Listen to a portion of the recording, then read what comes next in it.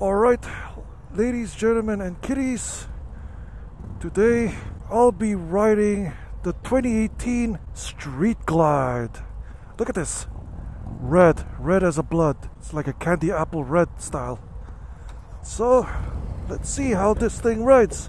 I would like to thank Henderson Harley Davidson and Harley Davidson in North America for hosting this awesome event. Here we go. Whoa. Okay, one thing to notice about the clutch this clutch is on a it engages very late almost close to the releasing point already. So far so good. The ergonomics is pretty good uh, a little bit different as I would say. This is a 2018 Street Glide. I think it's one of the newest Softail series and I think we're good to go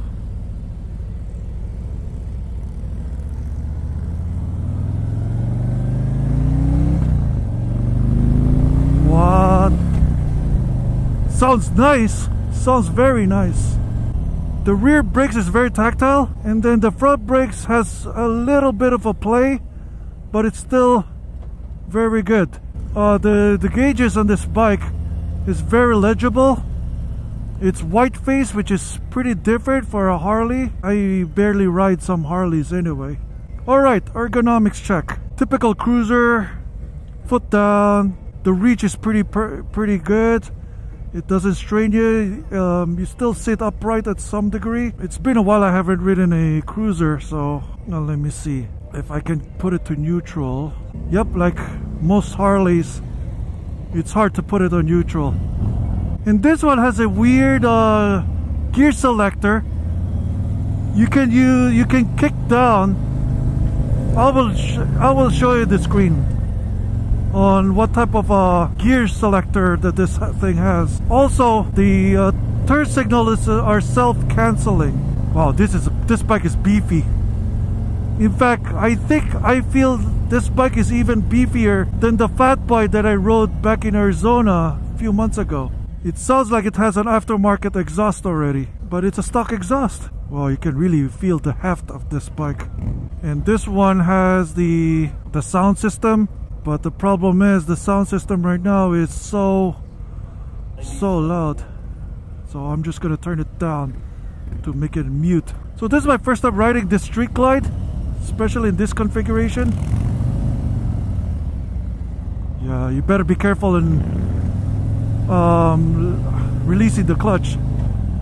I can't wait to to see how this bike goes in the freeway.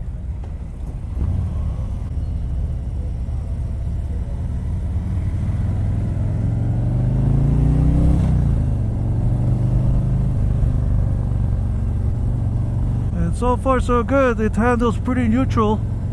I can lean it properly too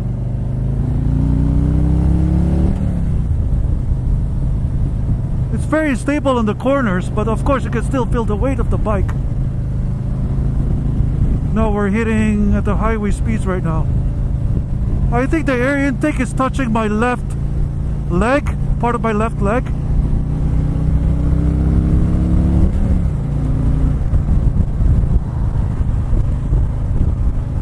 Other than that, there's not much inconvenience in this bike whatsoever. Riding it with one hand is pretty good. It's pretty pretty neutral. Very tactile.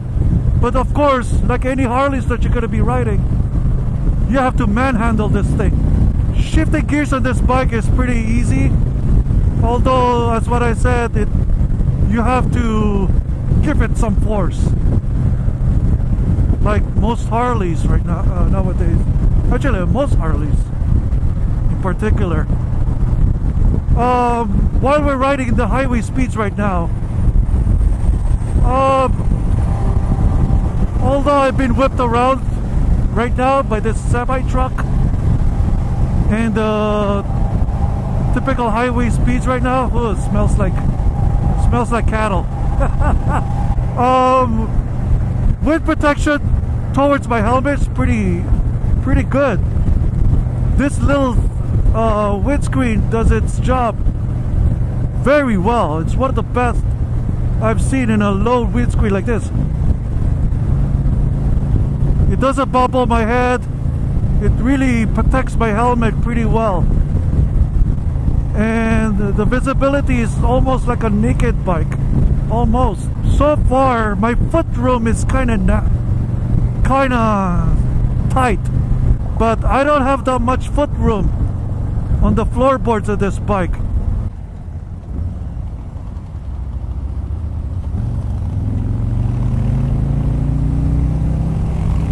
Like most Harleys, uh, the turn signals are not in one side of the handlebar, it's on both sides, one on each direction.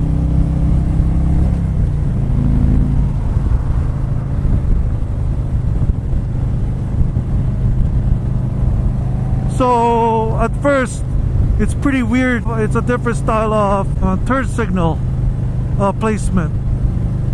Other than that, everything else is pretty logical.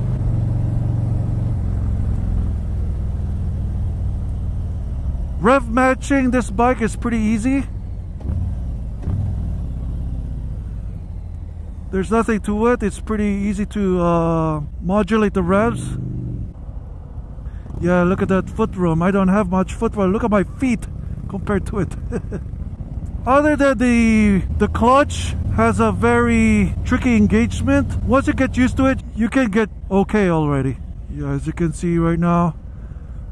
Look at my size 13 feet uh, foot right here and to the rear brakes it's just I don't have much room I have to stick my feet out a little bit same goes with this side see and since this is a Harley I'm still having a hard time how to put this bike into neutral. Plus this bike doesn't have a gear shift indicator.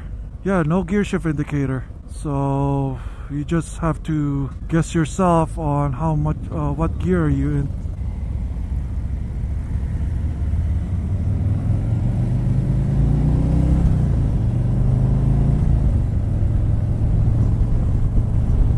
Other than that I won't use this bike for daily commuting though because it's too big.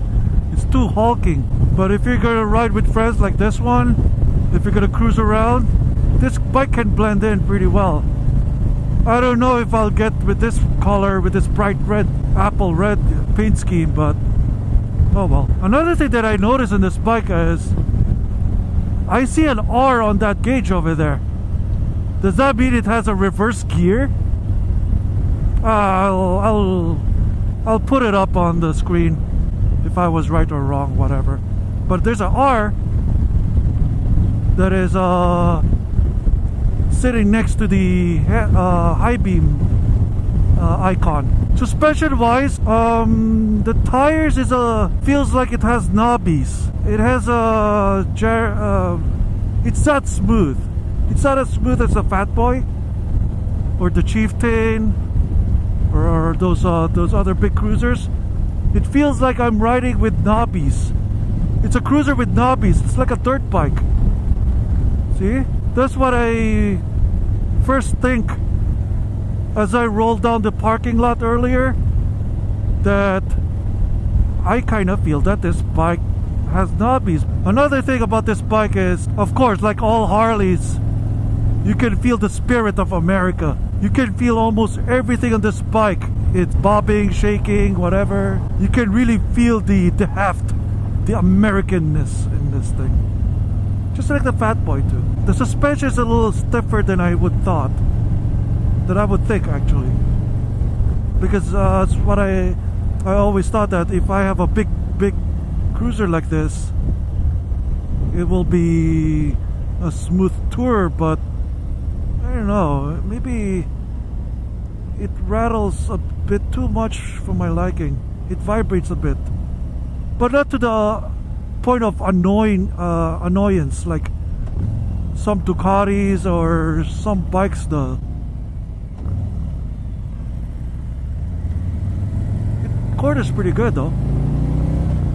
The engine sound is pretty nice, and I'm currently I'm ear, wearing an earplug uh, earplugs right now and it sounds nice already.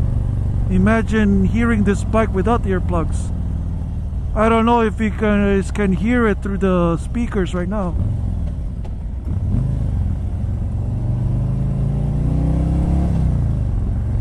And this bike has a very low revs.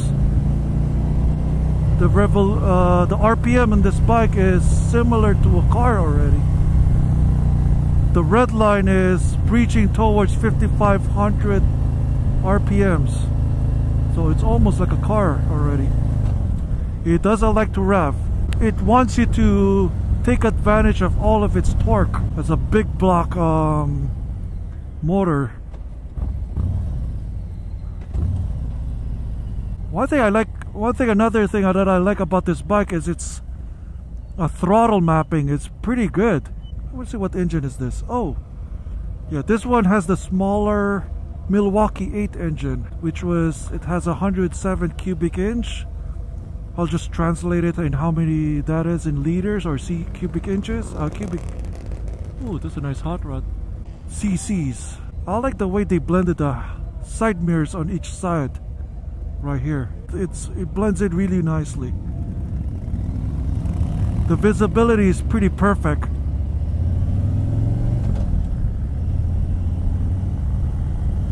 But it's so refreshing to ride a bike again Let's see how it handles the railroad tracks. Okay, okay. It isolates most of it, which is good. Um, let me see. If I sit straight like this, it still feels comfortable.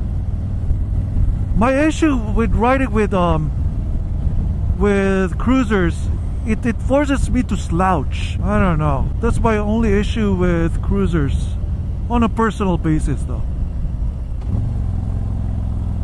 Yeah, it sounds so nice uh, I don't know if you can see it through the through the camera or through the screen but as I was downshifting going to a full stop this bike is just shaking aggressively I don't know maybe it's the character of the bike maybe it has that delay when you snap your throttle on it see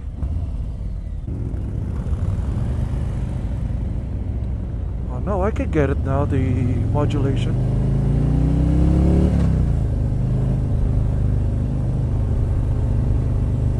Yeah, the, the throttle is excellent. Seating position is excellent. The visibility too is excellent. It kind of feels a little bit bulky though. And if I compare this to the Indian Chieftain, it's way less refined compared to the Chieftain. But to some riders, they like this roughness compared to the Chieftain. The Chieftain feels like an S-Class compared to this.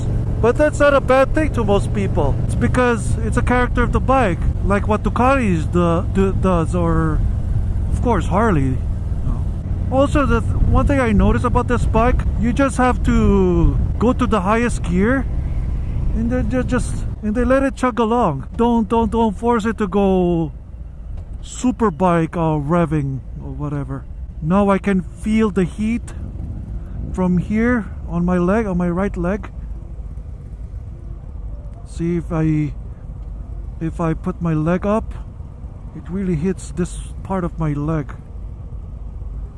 Right, right around here. I can feel the heat of the engine from there. Very shiny. And this this bike also has a keyless entry, it's uh, keyless entry or keyless start. So you can just put your key fob on your on your pocket and then up you go. Just twist this little thing and up you go. Happiness. Another thing that is unique for me, at least personally, is it has a battery volt. It has a voltmeter, which is good. It's very handy.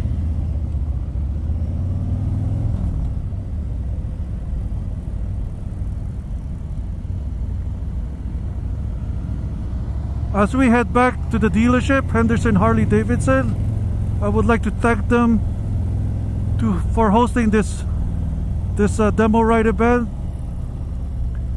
and uh, Harley Davidson in North America too.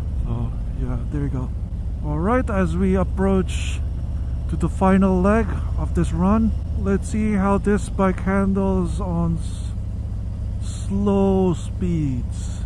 Yeah, the vibration feels like you're riding with knobbies. That's a very glaring thought on this bike, in my opinion, actually. I'm on first gear.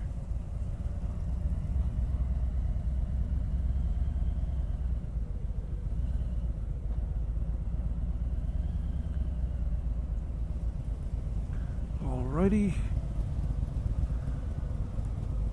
We're back. Here's this uh, closing, uh, switching it off. Done. Lock. The kickstand is pretty tricky to find, but if you own this bike, you'll get used to it. Whoa, whoa, whoa. Alrighty. Mm.